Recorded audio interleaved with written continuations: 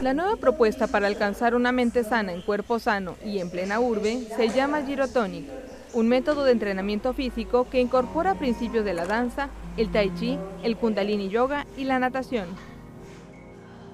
Silvia Guijarro es la directora de Estudio Girotonic Madrid, el primero de la decena abierto en esta ciudad con la certificación del método creado en los 80 por el bailarín húngaro Juli Orvar. Lo más significativo es que movemos en las tres dimensiones, entonces, por ejemplo, si comparásemos con Pilates, en Pilates se mueve más en dos dimensiones, los movimientos son más lineales, digamos, en Giro pues amplías ese campo de movimiento y luego las líneas de, que trabajamos de fuerza son líneas más de energía que, que de fuerza muscular bruta. La esencia del método, que se trabaja previamente sin equipamiento, se basa en cuatro movimientos, el arco, la curva, la espiral y la ola. Este movimiento se llama arco. Exhalo, llevo el esternón arriba y delante, pero mantengo la conexión de las costillas. El siguiente movimiento sería una curva. De nuevo hay una sensación de abrir. Hacemos una espiral.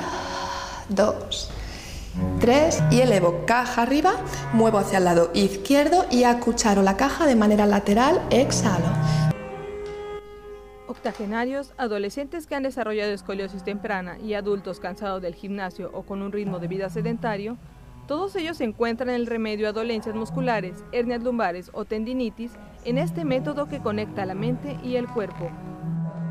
Unas clases que con Guijarro a menudo terminan en este columpio de yoga, para que la experiencia de cuidarse sea única.